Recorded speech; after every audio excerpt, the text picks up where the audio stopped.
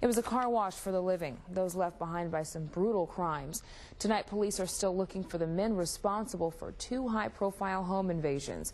While police may not officially connect the crimes, those who were victimized disagree. KCRA 3's Mike TeSelle has our story.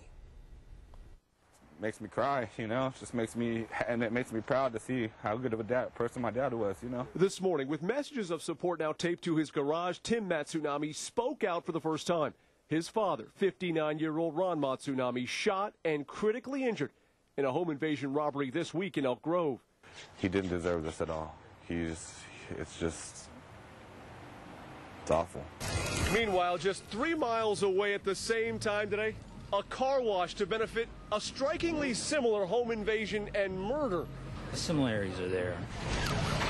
This car wash, a benefit for the family of murder victim Sean Aquitania and his seven-month-old son.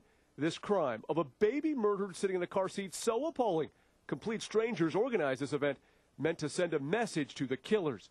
I'm not afraid to stand up and say, you know, I hope the people who did this, I hope they're watching right now, I hope they get caught. And I hope they get what's coming to them.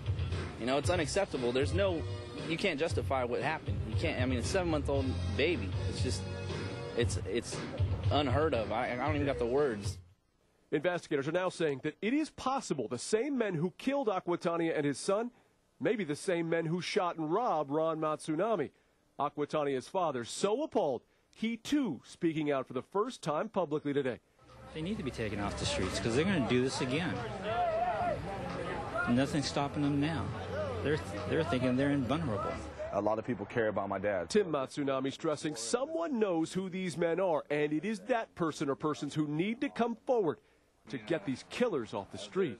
It doesn't. I don't care about anything else right now in my life right now, but making sure these guys are caught. That's it. In Sacramento, Mike TeSelle, KCRA 3 reports. The organizers of the car wash say every dollar raised from today's event is being given to the Aquitania family to pay for bills and expenses since this murder.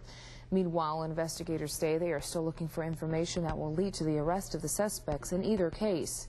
Anyone with information is asked to call Crime Alert at 1-800-AA-CRIME and the Son Carrington Foundation is putting up a $5,000 reward for information leading to an arrest.